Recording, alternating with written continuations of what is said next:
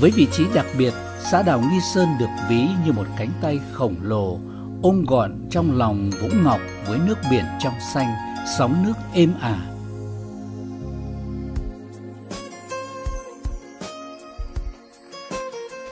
Và diện tích 3,8 km vuông cùng tổng số gần 2.000 hộ dân và hơn 8.000 nhân khẩu, cuộc sống của những người dân xã đảo nơi đây phụ thuộc chủ yếu vào biển từ việc khai thác, đánh bắt và chế biến thủy sản.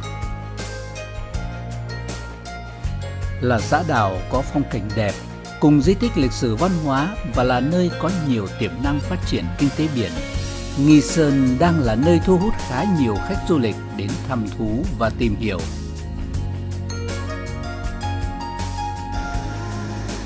Núi vươn mình đón sóng đại dương, mở vòng tay ôm một khoảng biển biếc vào lòng. Lời du ngàn năm từ tiếng sóng biển mang theo bao cổ tích huyền thoại, tạo nên một vùng văn hóa đặc sắc, một bãi biển đẹp cho vùng xã đảo Nghi Sơn.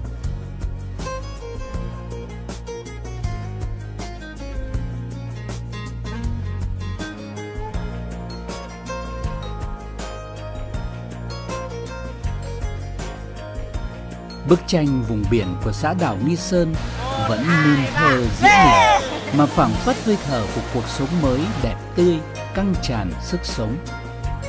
Nếu được nhiều người biết đến thì du lịch biển Nghi Sơn sẽ là điểm tựa để xã đảo Nghi Sơn tỏa sáng và vươn mình giữa ngàn trùng sóng vỗ.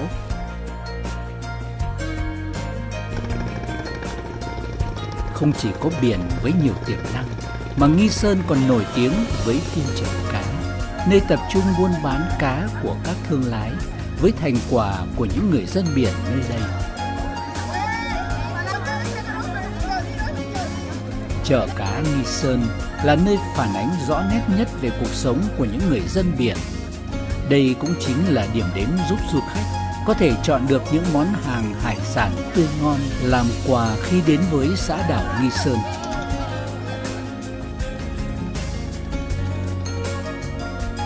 Cũng chính từ những hải sản tươi ngon của vùng biển mà du khách đến với xã đảo Nghi Sơn sẽ được thưởng thức nhiều đặc sản khác nhau. Chắc chắn những món ăn của biển Nghi Sơn sẽ làm hài lòng du khách.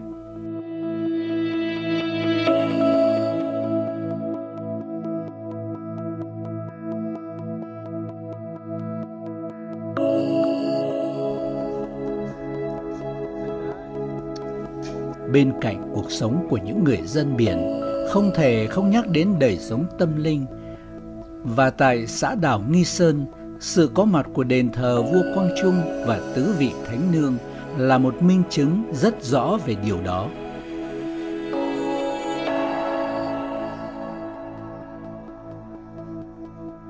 Đền thờ vua Quang Trung và tứ vị thánh nương là nơi để người dân biển tỏ lòng thành kính tưởng nhớ tới người anh hùng dân tộc Quang Trung, đồng thời cũng là điểm tựa để người dân gửi gắm, cầu mong một cuộc sống yên bình, ra khơi không gặp sóng dữ, cuộc sống sinh hoạt gặp nhiều điều may mắn và tốt lành. Hàng năm cứ vào ngày mùng 5 và mùng 7 tháng riêng âm lịch, lễ hội tại đền Quang Trung được tổ chức.